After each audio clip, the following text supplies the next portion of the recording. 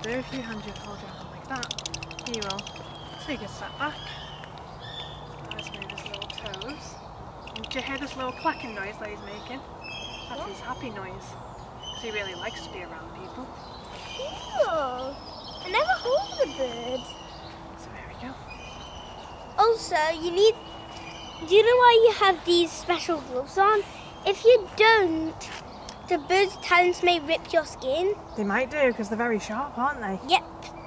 They're specialised for scratching and tearing. They are. Our birds have definitely got some strong feet. Now, do you feel brave enough to have a little stroke of him? So what we say is just above his head here. There you go. Whoa, that's real soft. Also, where's his ears? So his ears, I'll show you them um, when he comes back onto my glove. Now with him, his name's Ollie, and he's actually just a year older than you are. So he's about eight years old now. Guess what? My puppy's not even a year old. Not even a year. How old is it? He's mm, two no, months. No nibbling. There we go. Two so, months. So with him, he has a little bit of a nibble of my fingers, and that's because he thinks I've got food. So when you touch him on the back of his head, he actually really enjoys it. And he starts to close his eyes a little bit. So Ollie really likes to be around people, and he actually really likes kids more than anything, because you give the best head scratches. Yeah, and also this is the best birthday gift ever. Is it? Yeah, my first favourite is to have a puppy. My second favourite is to stroke this owl You miss it. in his mouth. And now it should be right the way into his stomach. Cool. Because he thinks that everyone tries to steal all of his food. No one ever has tried to take a mouse back off him, but he, he wants to make sure that it's in his belly, so then he's the one that's at it. Because he's done all of the hard work today. He sat really nice on your Yeah. glove. Absolutely. He had a big scratch on his head, and he's really I'd happy like with to it. try it one last time. One last And- time. Yeah, and I'll also like to feed him a mouse as well. I wouldn't be able to get you to feed him a mouse just because I can't let you touch any of the any of the dead animals. Yeah, just in case if it has any diseases. But if he works extra hard, he'll get a second mouse. Right? I've actually got some tasty fish in my pocket for him. Ooh, So- I know they eat fish. So he actually wouldn't in the wild. He doesn't like to eat fish in the wild because it would mean he'd get very, very wet if he tried to hunt it. Sardine, if you know what a sardine is. Yeah, I know a sardine, but I'd never heard of a sprat. It's like a little, little one. Okay, can you show me a sprat and then feed him? I can do. Okay. So, Whoa, this whoa. is him getting excited. So, this is a little sprat. Okay, that's a sprat. And you come lightly. It looks like it's a bit too big for him.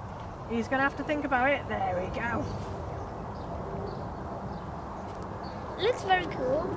Also, some people believe that the moon shows the owls the way. And do you know how owls' eyes glow? They have some, some very... What? You can't miss. Whoa, they're huge! Huge! Literally, virally huge! There you go. Well, my puppy has about the same size, do you? Oh yeah. Yeah, and what would... I, I know that's a type of sound of an It's of an owl, but what type of owl makes that sound? Which one? that type of sound?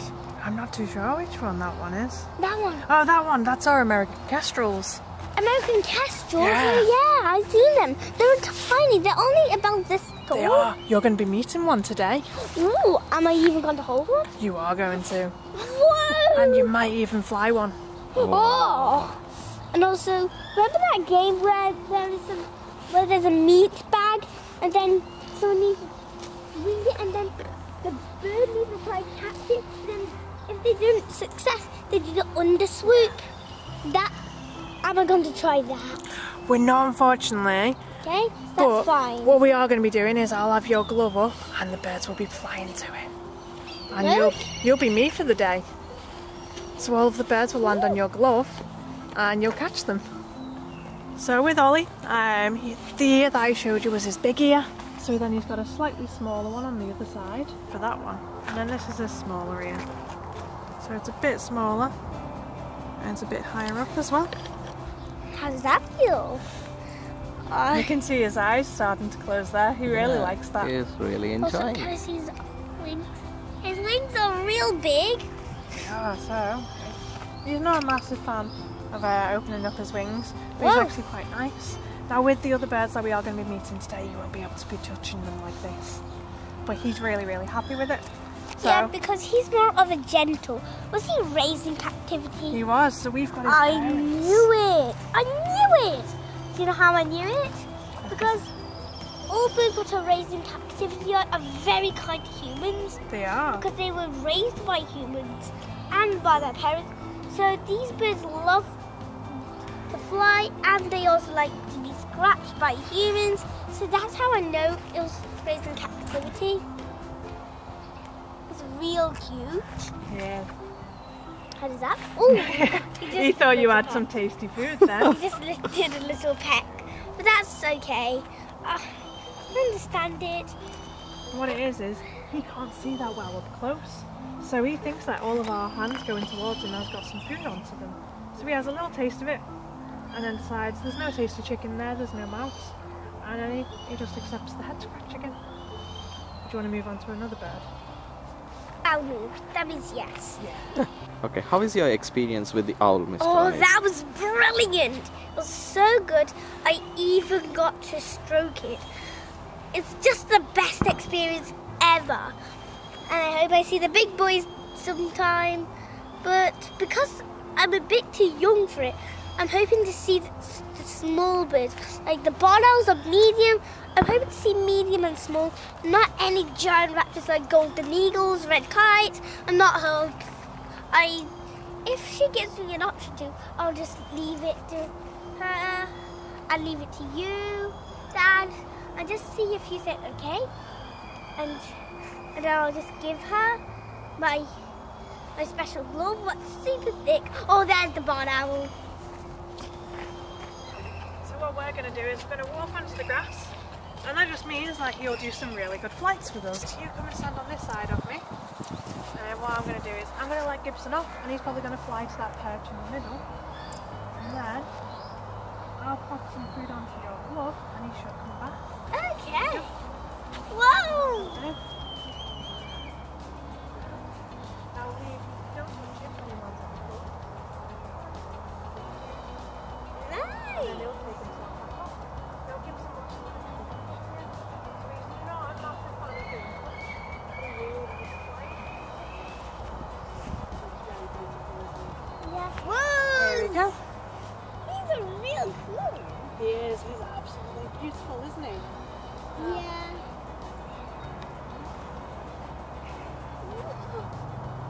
That attack? Was. Now he's not landing as hard as he would on like food because he doesn't prefer it. He knows that flying to your glove means that he's going to get his dinner. And he really likes doing that. Yeah. That's the last one. Whoa! And again, he's got a tasty little bit of fish because Gibson really likes fish. Okay. That's why it looks also. Quick question. Yeah. Do barn owls always get that colour? Not all the time, so it depends on where they are in the world. So What? some barn owls are all grey in colour rather than having this white in colour. Okay. And then over in America, do you see these darker feathers up on top? Mhm. Over in America, they're a lot, lot darker as well. And it's just to help them blend into the environment. So America doesn't always look like the UK, you know, with their kind of setups of habitat. So they've got to blend in really, really well. Also, does it also do those birds have like a cool sensing of when you move, they just like their head stays still like a kookaburra. They do. Okay, that's that's how raptors are like. Even in windy weathers, kestrels definitely need it because they can wobble in the hover. So they need to have focusing heads exactly like Dad's GoPro. Exactly. So all birds, Whoa! all of our birds do that as well. Let's move all the way to here. Come on. food. You're doing it all on your own. It's real cool. He is. Now, do you see his really sharp talons? Yeah. So his are a lot more sharp than what Ollie's were. And he's just going for a bit more bigger animals. So he's coming to you without even me asking him to. And that's because you've got really good body language. So you're obviously really comfortable with all the birds. So they actually want to come and fly to you because they like you. That's cool. If you was, you know, really, really nervous and you was a bit scared of them, you'd be a bit more hesitant. That just shows me that they just really like you because you like them. Well, he just did a little bit of a wing snap. That's okay. I understand that they just do that to slow down when they land. They do. He doesn't mean it at all. He's Yeah. actually one of our nicest birds.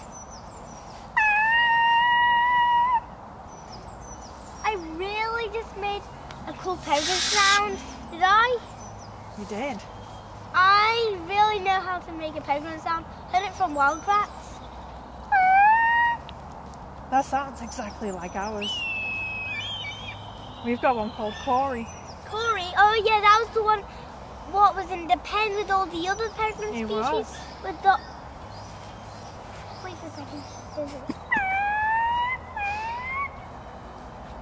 You need food to come Uh, here. Not always. All right. He, he knows that. I'm always going Ah. to give it to him. Brilliant. Some of them do. Mostly the bigger owls, you've got to show that there is something there. Whereas he just really enjoys being out. Yeah. He flies, you know, three or four times a day, and you can see his body language. You know, he does enjoy it. Whereas, yeah, some of the others, it's a chore. Also.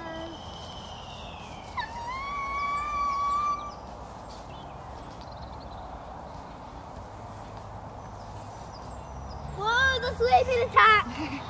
That's a real good attack for peregrines. That's the, one of the ways to survive for a peregrine. yes, Peregrines are very specialised for gliding, aren't they? they are. And just see these on the edge of his feathers.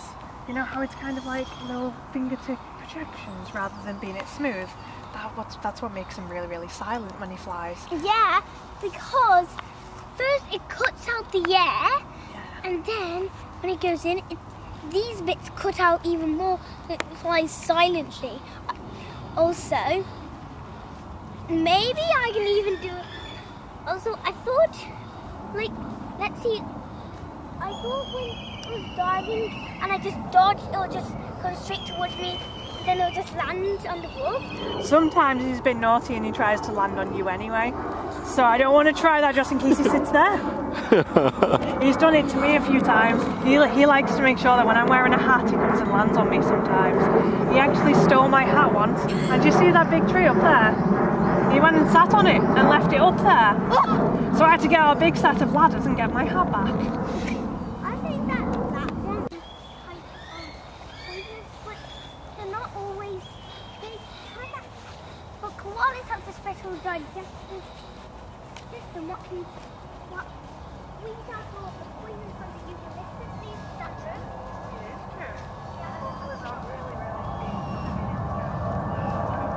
Now, Robin's going to be a quite big bird, so what I'll do is Robin.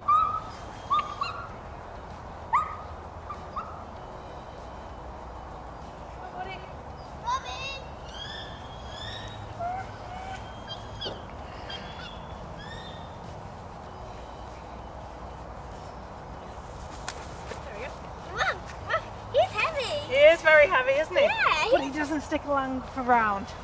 Because he knows Robin. he is a very heavy bird.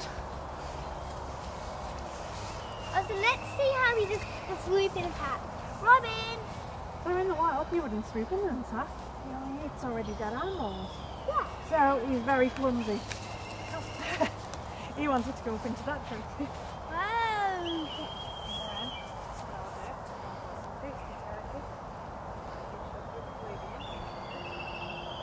Robin! This is a more calling stakeout. Steak. This is a more. Oh, that's cheating, isn't it? You're just going to do a big jump. Big jump. Off you get. Do big jump. He What? does do big jumps. There we go. Then he jumps off. also, does Robin also know how? Also, does Robin always sit on that tree, and then when someone puts food on the ground, does he just fly around it and then just swoop in for the attack? Is that true? Yeah, so sometimes he comes down, sometimes he'll land on the floor before he jumps onto your glove. And what it is is, he's actually really smart. And he knows because you're a bit smaller, he doesn't want to come in with all of his weight and knock you over. So he's actually a really nice bird. okay. Also, does he like being slapped? he doesn't. Now, Robin's not a massive fan of being touched. I just kind of like with strangers. You're gonna come in. There you go. Well done. That mm-hmm. that actually feels like five kilograms. That doesn't really feel that heavy. Robin. You're just really strong, aren't you? Yeah. yeah. It's real nice. Also, how big? Also, how fast can he jump? He's, you know what? He's not a very fast animal. Also, how fast can he go on land? He- probably with his flying, he can reach probably about 20 miles per hour. That's real fast. I mean, it's not compared to our peregrine or anything like that. Yep, who can do? We prefer to just kind of glide. Two hundred. Robin. If he would take a swooping attack. But with Robin, he's just a bit of a lazy boy. What Robin likes to do. So we take a feather from the chest and we send it to a very, very, really, really clever person. And they do a DNA test for us. So, you know all the clever scientists in all of the labs, we send them a feather, they take the DNA and they can tell us whether Robin's a boy or girl, and Robin's a boy. First, did you name him because Robin's more of a boy name than a girl name, right? Yeah, and we named him because they're a hooded vulture, so Robin Hood. Also, what's his full name? Is it, is it Robin Hood? Is his full name? Technically, yeah, that's on his paperwork. His name is Robin Hood. Last one, okay? Yeah. Well, let's first put it somewhere very far and then put it on the floor and see what happens. What, you want him to go onto the floor? Yeah, and see how he eats on the floor. Robin! You ready, Robin? Robin! Hi! Not too sure whether he trusts us. Sometimes, so this is a little chicken. Aneesh, no. So with it, sometimes when Robin's being a bit naughty, people have to throw food on the floor to encourage him out. So he thinks I'm in bad trouble. Whereas, if he's flying to your glove, he knows that we really like him.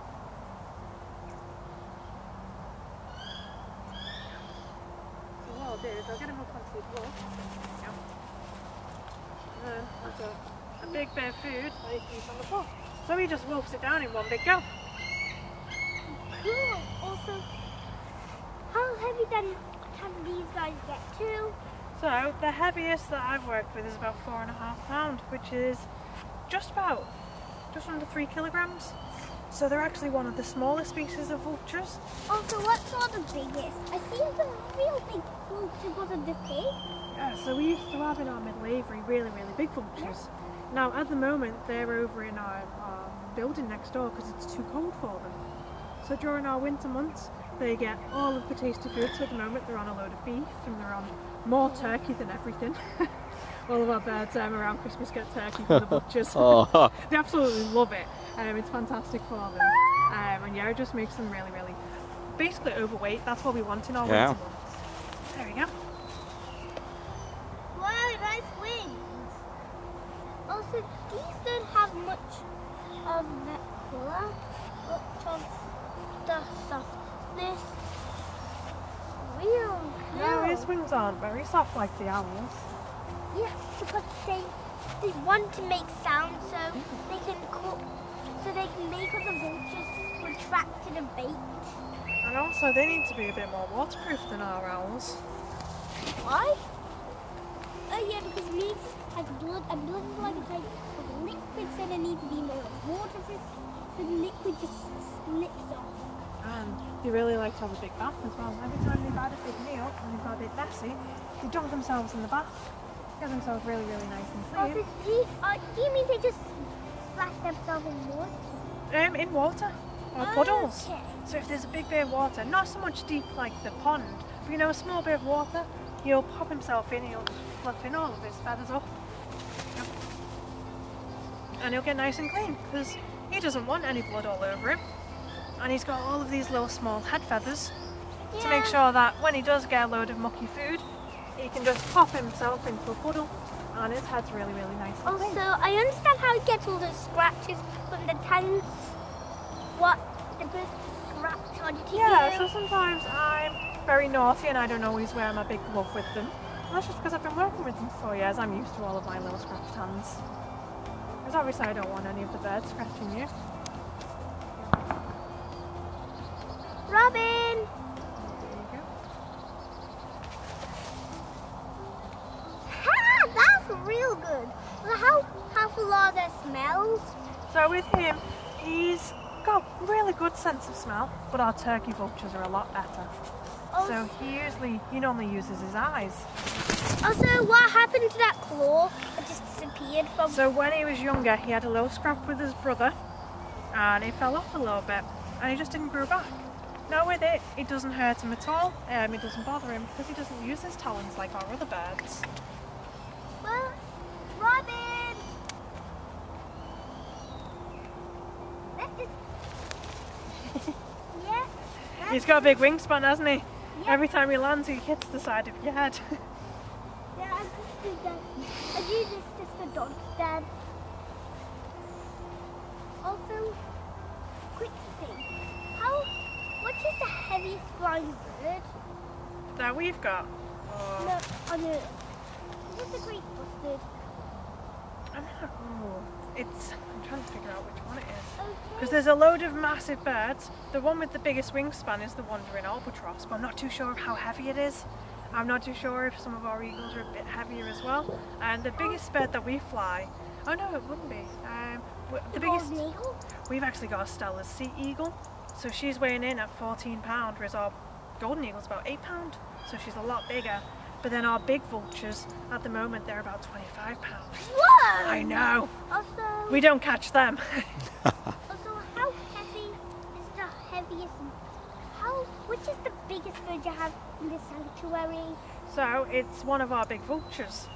Okay. But Who's the one in the hell, like in the box, in, in, in like the neighbor house? yeah, so they're over there at the moment whilst it's a bit cold, but we do have some of our other big vultures on display. We've got some Rüppell's vultures, and they're probably about 20 pound at the moment. Twenty pounds. Yeah. So I can lift four pounds, but twenty pounds. Whoa, that's a lot. I've tried to pick one of them up before on my glove, and I could only last about five seconds. But I'm also really weak. You're probably stronger than I am. Also, I even can lift my mum into her Aha. toes. Ah, yeah, I can. that's right. Mm-hmm. You ready for one last big flight with Robin? Robin.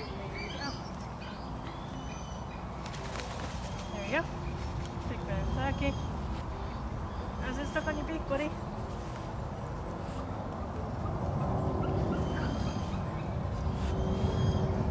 Here. Oh, I'm just trying to help. There we go.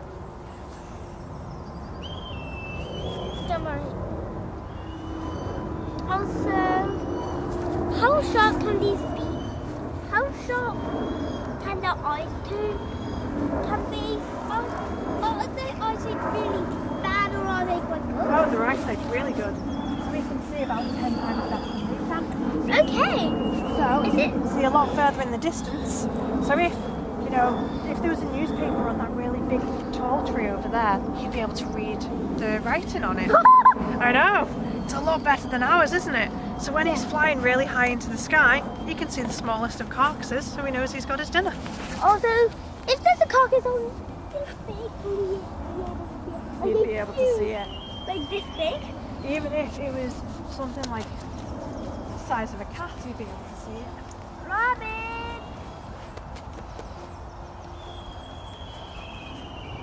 I think I'm going to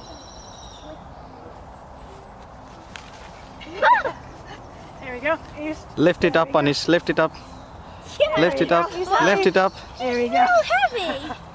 Thank you. It's really heavy. He is, isn't he? Mhm. You did very well though. I have adults that try and catch Robin and I see their arms fall. Whoa! He did a bit of a wing flap right on my head, but that was okay. And then what we'll do is we'll start to walk Robin back. So if you want to follow me this way, Okay. And we'll take him to his aviary, and then I'm going to take you into our inside arena so you can fly the American Kestrel. So, other things like falcons, but also corvids, so things like crows, would also go far. So you notice how she's really, really slicked her feathers in, and she's really, really small. That's because she's she's just taken. She's realised that there's no scary buzzards around. She started to self fluff herself up, and she'll probably start to be a bit more vocal soon. Also, oh, she just also also does she always do this just stabilize her head even when the glove is moving? She does. If she's focusing on something, she can make sure that her head still stays really, really still. like this, like this, Yeah. and hover. And she, I'm imitating the hover, so he, so she. Exactly. So when she's hovering, that head stays really, really still. And It's the same for things like chickens as well. Chickens are really good at being able to do it. So what is the best bird who can easily do this? I know raptors really need to do it. But most birds can do it, especially since they're flying. Well, chickens can, moorhens can fly, but just for short amounts of time. Yeah, they're not too good at it. Same with pheasants. Pheasants aren't the best of flyers. Peacocks, not very good. They're best action display and scaring off bigger creatures. The, their best specialty is that. Also, what's this the smallest bird you have here? Probably her. So she weighs three ounces, where most of like Three grams. three ounces, about 100 grams. So 100 grams, that means 100 rice grains. is the same as her. There's not much to her, is there? She's actually doing. when I do, She's very good at keeping her head still. Also, she looks like a bit of a dancer. What? She even looks like she prefers it.